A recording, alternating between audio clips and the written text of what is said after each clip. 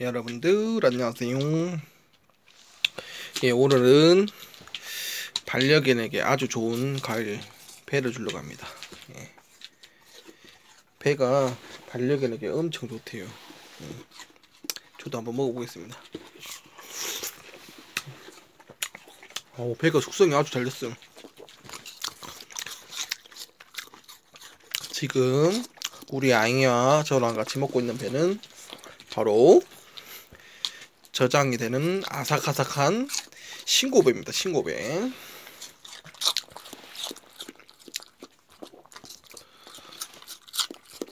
아잉아 배 먹고 배 찌면 안 된다잉. 응? 혼나요 그러면.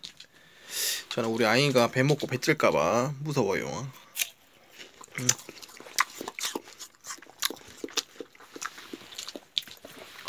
마지막 한 개당.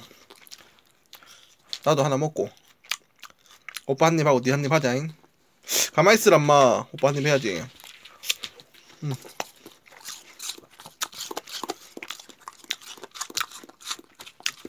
예, 반려견들에게 아주 좋은, 건강에 좋은, 예, 과일이 몇 가지 있는데, 또 그 중 하나가 배입니다, 배.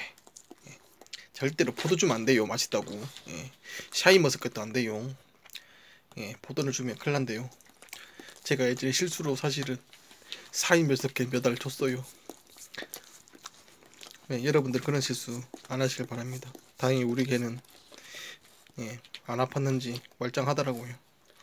예, 몸에 좋은 과일 예, 배는 주셔도 됩니다.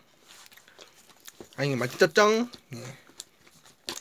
우리 아잉이랑 이렇게 같이 맛있는 배 먹고 또 배는 반려견들에게 좋다니까 여러분들도 많이 드세요. 아시겠죠? 반려견도 같이 먹고 예, 같이 먹을 수 있는 과일만 우리 먹읍시다. 아시겠죠? 음, 이거 너무 맛있어 눈물 흘린 거야? 자식이. 또 줄게. 여러분들 안녕. 다음에 또 봬요.